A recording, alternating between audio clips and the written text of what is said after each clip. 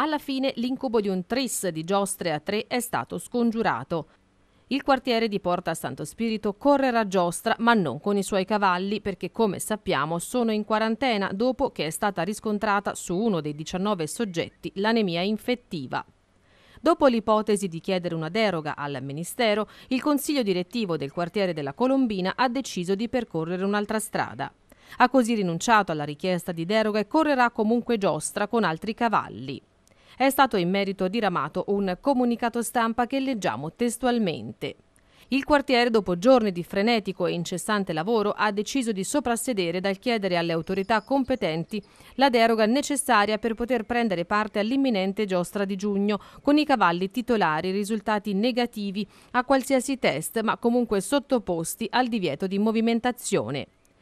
Nonostante permanga la convinzione che la medesima deroga sarebbe stata possibile ed attuabile, essendo espressamente prevista dalla normativa in vigore, riteniamo, dicono dal quartiere, che la decisione presa sia sotto più profili la migliore per il quartiere, per la manifestazione e per la città.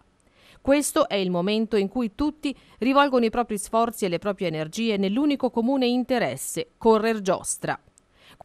Qualsiasi altra discussione o polemica, così a ridosso della manifestazione, distoglierebbe inutilmente da questo obiettivo il quartiere, le istituzioni e i nostri avversari. Con l'occasione, si conclude il comunicato stampa, vogliamo confermare ai nostri quartieristi e alla città che grazie ad un indescrivibile sforzo di più persone siamo riusciti ad individuare alcuni cavalli sui quali stiamo già lavorando e continueremo a farlo nei prossimi giorni, così da poter correre giostra con le ambizioni di sempre, certi delle capacità dei nostri giostratori di adattarsi con successo a qualsiasi situazione la sorte ci ponga.